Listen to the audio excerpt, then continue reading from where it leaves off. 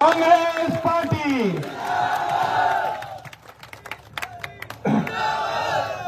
Ram Ram sir. Akhil Bharatiya Congress committee के बाड़मेर लोकसभा से उम्मीदवार भाई उमेदा राम जी बेनीवाल, सम्मानित मंच, बुजुर्गणों और नौजवान साथियों आज सबसे पहले तो मैं बाबा साहब भीमराव अंबेडकर जी को सत सत नमन करता हूँ। आज का दिन 133वीं उनकी जयंती है।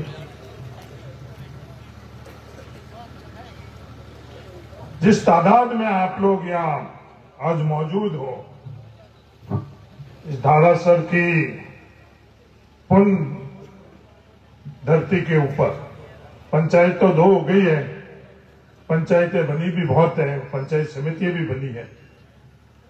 और बड़े भाई और छोटे भाई हिसाब से दारासर ही है। वो अपने आप में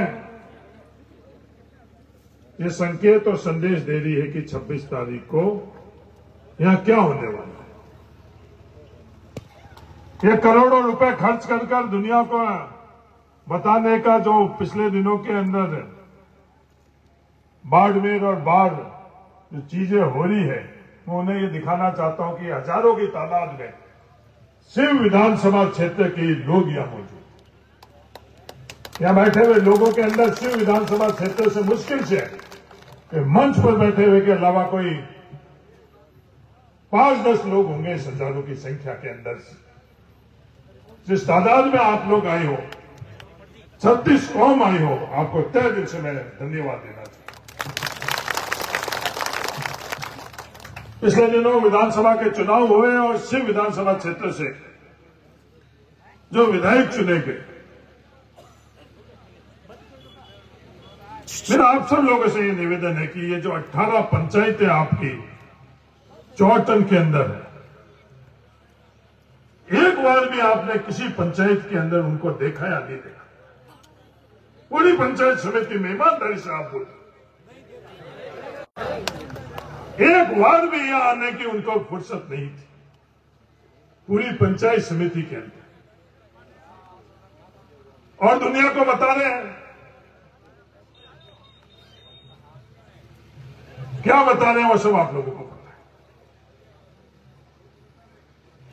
जो उनके पीछे से जैसे नरेंद्र मोदी जी को बताया जा रहा है। और नरेंद्र मोदी जी वो की वो बात भाषण में करते हैं। नरेंद्र मोदी जी जब भाषण देते हैं तो उनके सामने एक टेली प्रॉम्प्टर रहता है, जिससे वो पढ़कर और भाषण देते हैं। वो सामने उनका स्वागत किया। पर उन्होंने हमारे को धन्यवाद देने जैसा नहीं छोड़ा। जो बोले नरेंद्र मोदी जी ने ये मुझे अफसोस कि कोई मेहमान आता है तो अपन स्वागत करते हैं, ये हम लोगों के थार की परंपरा है। और जाते हैं जब उसको अपन शुक्रिया अदा करते हैं, धन्यवाद देते हैं।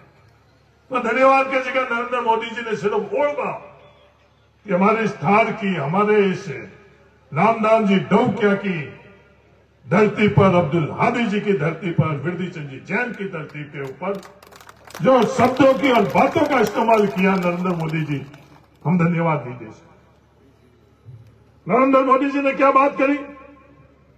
कि बाबा साहब, भीमराव अंबेडकर जी वापिस आ जाए। नरेंद्र मोदी जी, बाबा साहब, कहता कि बाबा साहब, भीमराव अंबेडकर जी इस देश के अंबेडकर जी हैं। ये मैं आज इस धार की धरती से धारासर से नरेंद्र मोदी जी आपको कह रहा हूँ।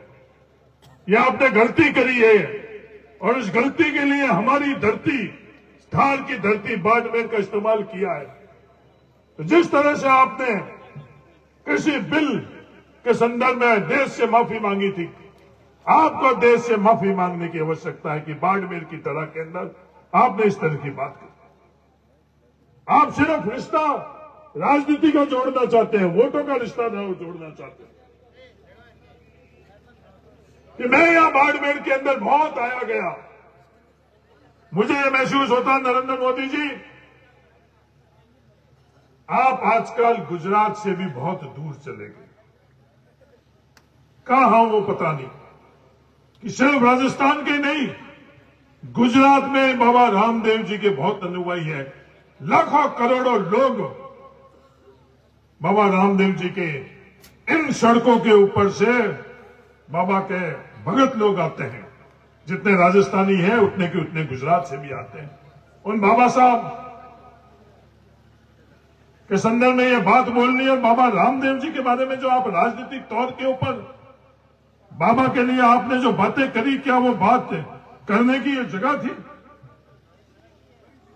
कश्मीर के अंदर, जैसे शिव विधानसभा की कश्मीर के अंदर पैदा हुए हुए हमारे बाबा रामदेव जी, दुनिया के सबके बाबा रामदेव जी को उन्होंने बातों ही बातों के अंदर जो टेलीप्रोम्प्टर के अंदर लिखा हुआ था, पहुँचा दिया। कश्मीर। और फिर कहते मेरा बहुत घूमा। अपने आप ही अपनी पोल खोल रहे हैं कि मेरा कोई भी यहाँ से जुड़ाव नहीं है। ये किसी ने ये सवाल थोड़ी पूछा? जो सवाल हम लोगों के थे बाड़मेर के सवाल थे, हम लोगों के सवाल थे, वो सवालों की ज़िक्र और जवाब उन्होंने नहीं दिया। किसानों की आमदनी दुगनी। क्या किसानों की आमदनी दुगनी हुई? 2009 से 14 तक बाड़मेर के अंदर क्या हर परिवार की स्थिति थी मैंने बताई। कि 2009 के अंदर बाड़मेर का हर परिवार सत्तर हज़ार अठहत्तर रुपए उनकी जेब में जाते थे दो 2014 के अंदर।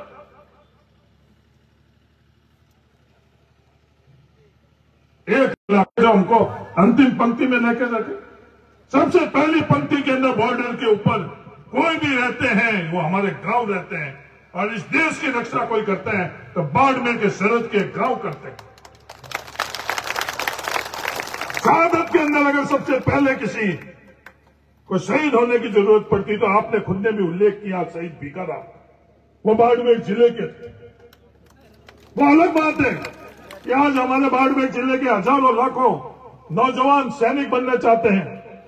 और इस देश के लिए अगर वो शहीद शहादत देंगे तो आने वाले समय के अंदर उनको शहीद का दर्जा नरेंद्र मोदी जी, आप नहीं दोगे ये फैसला आपने किया। जो आज सेना के अंदर जो भर्ती हो रहे हैं, आज अग्निवीर के माध्यम से देश के लिए कोई शहादत हमारे परिवार का, कोई नौजवान देगा तो उसको शहीद का दर्जा नहीं मिलेगा। जो शहीद का दर्जा भिकाराम मूड को मिला। इन घावों के संदर्भ में आपने क्या क्या अन्याय नहीं किया? दस साल का लेखा जोखा आपने। पिछड़ा जिला योजना के माध्यम से जो हमारे बयालीस करोड़ रुपए हर साल को मिलते थे, वो पैसा आपने रोक दिया। बाड़मेर ज़िले का पचास करोड़ रुपए से ज़्यादा बीएडीपी का पैसा मिलता था, वो रोक दिया। प्रधानमंत्री सड़क ग्राम योजना के माध्यम से हमारे जो ढाणियों के अंदर सड़कें बनानी थी, वो दस सालों में आपने रोक दी। अलग बात है बाड़मेर की जनता की ताकत से पिछले पाँच सालों के अंदर राजस्थान सरकार ने वो ढाई सौ तक की आबादी की सड़कें स्वीकृत करी और राजस्थान के अंदर सबसे ज़्यादा कई सड़कें स्वीकृत हुई तो वो बाड़मेर जिला था। सड़कें स्वीकृत करने का अलग बात जो हमारा हक था, अधिकार था, दस सालों के अंदर प्रधानमंत्री सड़क ग्राम योजना की सड़कें रिपेयरिंग होना वो हक और अधिकार भी आपने नहीं दिया प्रधानमंत्री नरेंद्र मोदी जी। ये बात का ज़िक्र आपने किया। इस बात के लिए आपको माफ़ी मांगनी चाहिए कि जो आपका हक और अधिकार पीने के पानी के संदर्भ में और एक नई फ़ैशन बना दी। आपके माननीय विधायक महोदय ने कहा का अपनी बात जोड़ दी, विधायक महोदय जी। आप विश्वविद्यालय के अंदर अध्यक्ष थे। उस वक्त आपने विश्वविद्यालय के अंदर छात्रों के लिए क्या किया? आपको ये लेखा लेखा जोखा बाड़मेर जैसलमेर के लोगों के बीच में देना चाहिए था। एक साल के कार्यकाल में आपने क्या किया, वो आपने नहीं बताया। या आपने, आपके जो विधायक का कार्यकाल था, उसमें आपने क्या किया? वो बात नहीं करी। आप बात बनाना चाहते हो, एक कहानी गढ़ना चाहते हो, दो हैंडपंप की गलती आपकी। और इस बात का बतंगड़ आप बना रहे वो गलती क्या? कि आपने खुद नहीं है।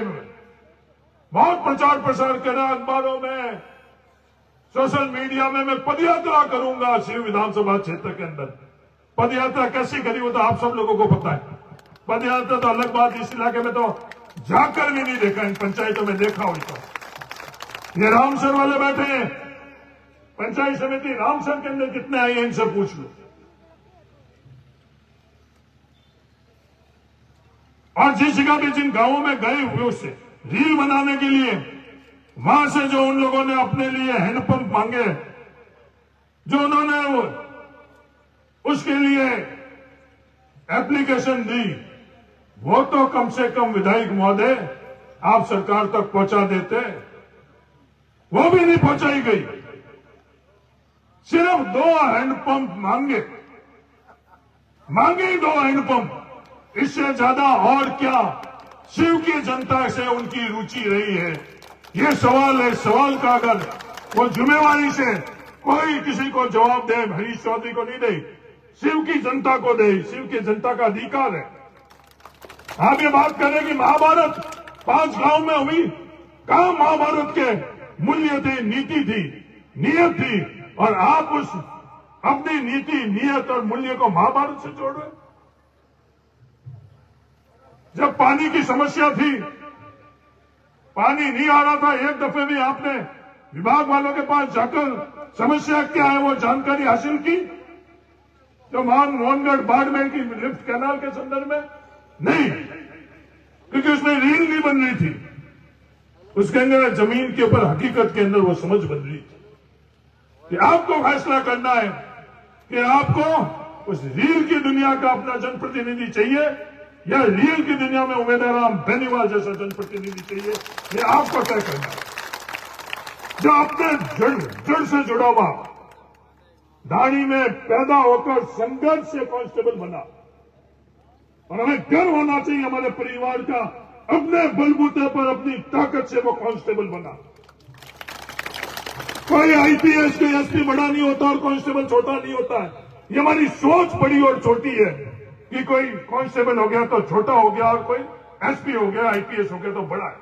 इस देश के अंदर मजदूर छोटा और ये पूंजीपति बड़े, जिसकी भी ये सोच है, उसकी सोच के अंदर कमी है, सोच छोटी है। मजदूर और किसान भी उतना इस देश के लिए बड़ा है। जितना बड़े से बड़ा पूंजीपति है। तो ये तकलीफ़ क्या है, नौजवान साथियों? ये तकलीफ़ आपकी और अपनी उम्मीदवार बेनीवाल जानता है। कांस्टेबल के बाद में जो व्यापार कर जो संघर्ष से ये खुद आगे बढ़ा है, जो हम लोगों के पास तकलीफें थी, उस तकलीफों के अंदर कौन खड़ा रहा? शिक्षा के लिए कौन खड़ा रहा? शिक्षा की किसने बात करी? उमेदवार राम बेनीवाल ने बात की। हमें पैर देने की आवश्यकता नहीं है। ये उमेदवार राम बेनीवाल का शिक्षा के अंदर योगदान अपने आप कहता है कि उमेदवार राम बेनीवाल को शिक्षा से लगाव है। उमेदवार राम बेनीवाल शिक्षा चाहता है। जैसे शब्दों का इस्तेमाल हो रहा है, वो उमेदवार राम बेनीवाल भी कर सकता था, पर उन्होंने इस्तेमाल नहीं किया। जब कोरोना आया तो कोरोना के वक्त के अंदर ये दोनों के दोनों उम्मीदवार कहा थे? दोनों के दोनों उम्मीदवार कोरोना के वक्त के अंदर बाड़मेर के लोगों के बीच में नहीं थी। उम्मीदवार राम बेनीवाल। रीले बना रहे रीले बनाने में तो कमी रखनी दे तो कोई एक आधी टिड्डी की रील भी बता दे कि जब टिड्डी आई, उस वक्त उम्मीदवार बेनीवाल अपने किसानों के साथ में खड़ा था टिड्डी का मुकाबला करने के लिए। और वो दोनों के दोनों कभी एक दफे भी आई बात मुद्दे की होनी चाहिए, बात काम की होनी चाहिए, बात अपनी होनी चाहिए। वो बात ये लोग नहीं करते। तो आप सब लोगों से ये निवेदन है। ये अपनी मजबूती की बात कर रहे हैं, उनके पास ताकत किसकी है? उनके पास लोग हवाई जहाज़ में उड़कर आएँगे। पर हवाई जहाज़ में उड़ने वालों से बड़ा इस लोकतंत्र के ताकतवर होता है, जो अपने आप, अपने साधन से हमारे पास छब्बीस तारीख को आएगा। वो मजदूर बड़ा। ये बड़े बड़े सेठ। वो लोग आपस में लड़ा रहे हैं अपन लोगों को। इस चुनाव के अंदर जो जाति का जहर बोल रहे हैं, मेरा निवेदन है कि आप इसको देखो। हिंदू मुसलमान जो करवा रहे हैं, जाति को जाति से लड़वा रहे हैं के बीच में, धर्म के बीच में सामंजस्य पैदा करने के लिए, एक होने के लिए खड़ा है। ये अपने बीच में विवाद कर कर और अलग कर इस आरएसएस की बात को थोड़ी ठंडी रखो। छब्बीस को वोट पड़ जाएगा, उसके बाद इस आरएसएस की बात को मजबूती से लेकिन इनका वोट किसको चाहिए अकलियत के लोगों को चाहिए। अच्छी श्रद्धांजलि तो जब होती, जिस दिन बाबा साहब भीमराव अंबेडकर जी के नाम से हॉस्टल का फैसला हो चुका था, ये मूल ओबीसी की बात कर रहे हैं। मूल ओबीसी के नाम से हॉस्टल का फैसले के अंदर कुछ किया नहीं किया, पर उनको बेनीवाल आप लोगों को रिश्ता रखना चाहता परिवार का। आप लोग छब्बीस तारीख को फैसला कर ले कि आपको वोटों का रिश्ता रखने वाला वोटर के सौदागर के साथ में रहना यह उमेदवार राम बेनीवाल जो आपके परिवार का इनके साथ में रहना। मुझे आशा ही नहीं, विश्वास। समय काफ़ी हो गया है। बाकी वक्ता भी है। काफ़ी दिन बाद परिवार के बीच में आई है। परिवार एकजुट रहेगा तो हम सब लोगों का भला होगा। हमारे लिए हम बाद में ये मंच पर बैठे हुए बाद में और ये जनता पहले इस जनता ने हमें बनाया, हमने इस जनता को नहीं बनाया। तो इनके लिए हम लोगों को डटकर, मजबूती से एकजुट होकर और 26 तारीख तक उमेदवार राम बेनीवाल को संसद में कैसे पहुँचा, इसके अलावा दूसरी कोई बात नहीं। अंत में मैं एक और बात कहना चाहता हूँ। मेरी बात को आज रिकॉर्ड कर लेना। जो नतीजे आएँगे इस बार लोकसभा के, वो बड़े चौंकाने वाले आएँगे। एक उम्मीदवार राम बेनीवाल, पचास एमपी के साथ में नहीं बैठेगा। वो संख्या जो उम्मीदवार राम बेनीवाल के साथ संसद की होगी, मैं दुनिया को बताना चाह रहा हूँ, आज धारासर की धरती के ऊपर, कि वो बहुत बड़ी संख्या हो। क्योंकि देश मन बना चुका है, देश मानस बना चुका है, कि कितनी बड़ी तादाद के अंदर इस कांग्रेस पार्टी की और उसके गठबंधन की सरकार बनने जा रही है। धन्यवाद जय हिंद राम।